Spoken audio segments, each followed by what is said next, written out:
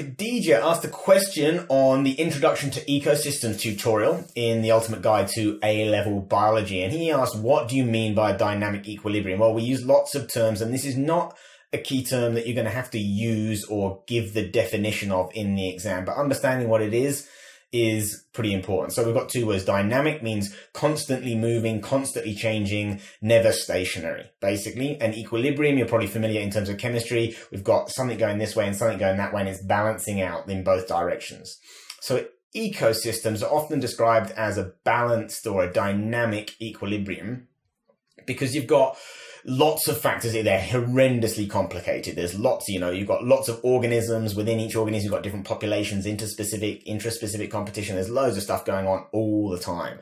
So we describe them as dynamic because they're not just stationary. It's not like balancing a seesaw where it reaches equilibrium. It's then balanced and then nothing moves. Basically, there, there is actually a little bit of movement in chemical equations most of the time. However, in biology, it's a bit messier. We don't have the clean atomic balance of chemistry. So a dynamic equilibrium is simply something that's in balance in that you've got maybe more foxes one year. Obviously the classic will be then they're going to eat more rabbits, but then the fox numbers will die because all the rabbits will be dead and then you're going to have a bouncing back. So it's this feedback between the living elements of the ecosystem, which we call a dynamic equilibrium. It's always moving, it's always changing, but it's it's regulatory. There's lots of negative feedbacks, which means that it it's corrective and restores the balance of how energy is normally distributed in the ecosystem. So I hope that helps with that definition. If you're looking for more help, I'm going to be picking a few nice comments that I think will be really helpful to explain personally rather than writing my replies to the comments on the videos.